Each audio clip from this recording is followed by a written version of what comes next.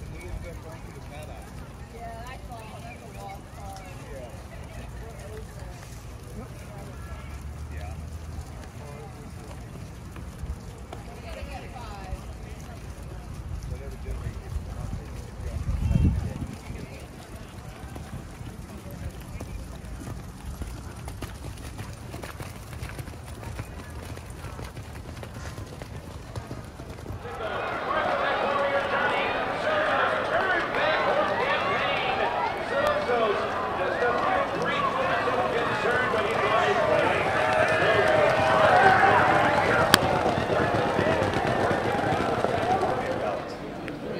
wonderful. Were you concerned at all about?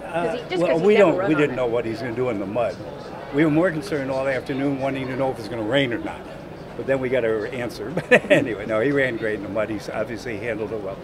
It's really cute. Is we actually years ago won the Hanshin at Arlington with a horse called Labongo who had the track record there for years, and it was so much fun to, to win the same race again.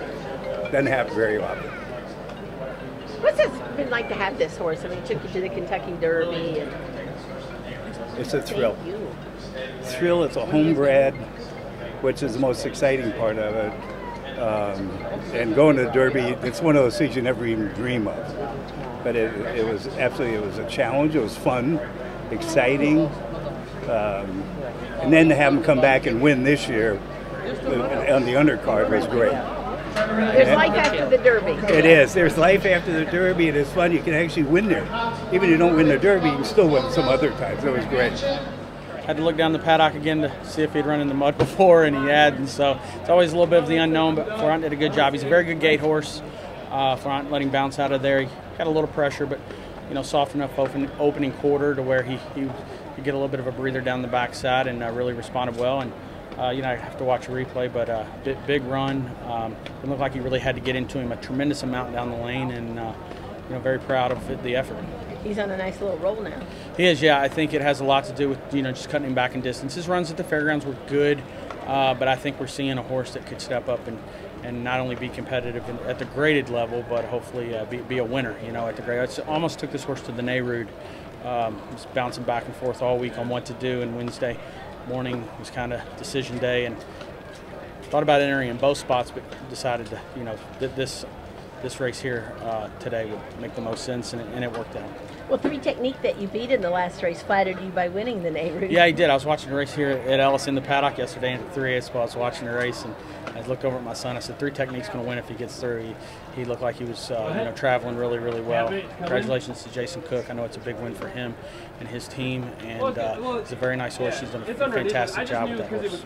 He's not even to the spit box yet. What makes uh, what kind of races make make sense for the next start? Uh, you know, look, I, I would I would say um, we may look at some, something at Saratoga with him going seven eighths. Um, um, you know, we'll, we'll first and foremost watch him, see how he comes out of it. He might be something that we, we ship up there and just kind of let him chill out, enjoy the cooler weather of the mornings, and um, you know, see how he handles Saratoga. If he does, maybe we'd give him a shot there. But um, you know, very proud of the effort today, and I think there's no doubt anything anything moving forward will be one turn or less, anywhere between seven eighths and uh, one turn mile. So it just shows again there is life after the Derby.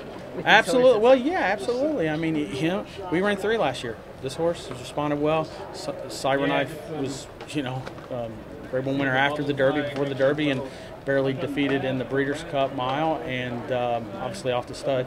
Uh, and then we had Tawny Port, which rebounded and came back and won the Ohio Derby after the Kentucky Derby. So uh, we had four running it this year. Maybe all four of those can can somehow uh, redeem themselves, uh, and they, they have with obviously uh, verifying coming back and running good here, and maybe Indiana Derby this weekend. But yeah, there's totally life after the Derby. Uh, you got to watch the horse. If they need the break, they need the break, and, and they all need breaks at some point. It's just when you you know when when they're asking for it, you got to give it to them. And you got to be excited just overall about your weekend here, and the, the weekend here as a whole was amazing. Yeah, no, it was great. I mean, the, the fans here, I've noticed it's, it's really picked up, and, and you know, good fans, uh, good crowd, and uh, you know, it looks like a lot of on on uh, track support, which is big. And uh, you know, I, I told said yesterday, Ellis has always been very good to us. We won our first trainers title here. It means a lot racing a lot to us as a stable racing here. We keep horses here basically May through November, uh, a large string, and we use this place as a, uh, um, you know, place to get a lot of babies ready. So it, it means a lot to us, and it really fits in our program well.